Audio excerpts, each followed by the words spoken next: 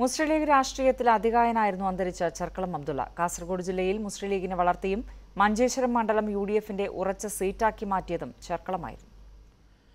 കാസർഗോഡ് ജില്ലയിലെ U D F രാഷ്ട്രീയത്തിന്റെ നെടുന്തൂൺ ആയിരത്തി തൊള്ളായിരത്തി എൺപതിൽ മഞ്ചേശ്വരം മണ്ഡലത്തിലെ കന്നി മത്സരത്തിൽ നൂറ്റി അമ്പത് വോട്ടിന്റെ തോൽവി. കോൺഗ്രസ് നേതാവ് ഐ രാമറായി റിബലായതാണ് പരാജയ കാരണം. ആയിരത്തി തൊള്ളായിരത്തി എൺപത്തിയേഴിൽ മഞ്ചേശ്വരം ചെർക്കളത്തിലൂടെ ആദ്യമായി യു ഡി എഫിനൊപ്പം. ഇടതും ബി ജെ പിയും ശക്തമായ മണ്ഡലത്തെ തുടർച്ചയായി നാല് തവണ കൂടെ നിർത്തി. ഇടത് നേതാക്കളായ Ramanna Rai Ramayya Shetty B J P നേതാക്കളായ K G Marar C K Padmanabhan Balakrishna Shetty അടക്കം പ്രമുഖരാണ് ചെർക്കളത്തിന് മുന്നിൽ വീണത്. രണ്ടായിരത്തി ഒന്ന് മുതൽ മൂന്നര വർഷം ആന്റണി മന്ത്രിസഭയിൽ തദ്ദേശ സ്വയംഭരണ വകുപ്പ് കൈകാര്യം ചെയ്തു.